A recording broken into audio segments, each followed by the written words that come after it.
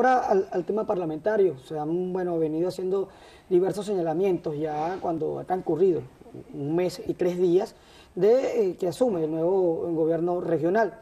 Se han solicitado diferentes eh, pronunciamientos, sobre todo esto en el caso de los trabajadores y presuntos atropellos que se vienen desarrollando eh, sobre despidos injustificados. ¿Cómo ha avanzado esto en torno a las discusiones que se realizan en el Parlamento regional?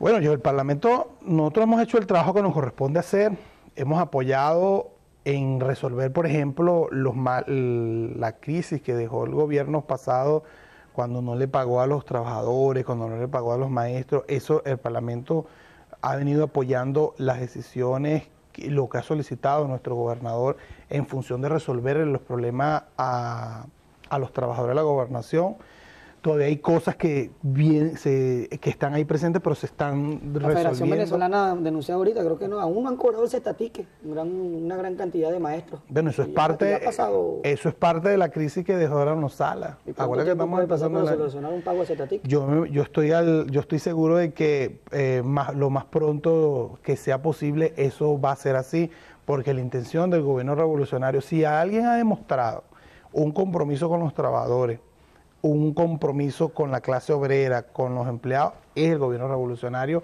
este y en todo el país. Los beneficios que se ha permitido, a través incluso de la nueva ley de trabajo, a través de los beneficios que plantea la revolución, están ahí al día y la gente lo siente. Diputado, pero hemos visto casos bien emblemáticos, no solamente aquí en Carabobo con esto de Fundavanza, ahora, ahora Funda Comunidad, en el estado de Anzuategui eh, se generaron despidos, en el estado Zulia se generaron despidos, en el estado de Carabobo se generaron despidos y así muchísimos otros, otros otras regiones venezolanas y cómo se asume un compromiso con la bueno, parte laboral cuando, se eh, asume un gobierno y las primeras acciones que se hacen son estas. Porque hay en la estructura posiciones 9-9 que son cargos de confianza y por supuesto tú tienes que poner a la gente de confianza, pero yo soy un alcalde, llego a, un, a una alcaldía y yo tengo que colocar a, a, mis hombres de confianza a desarrollar una política que vaya en, en, sintonía con el pensamiento y la orden del, del, alcalde o gobernador o director que esté allí. eso es perfectamente normal y eso, eso, está incluso dentro de lo que es el, el régimen de, de, del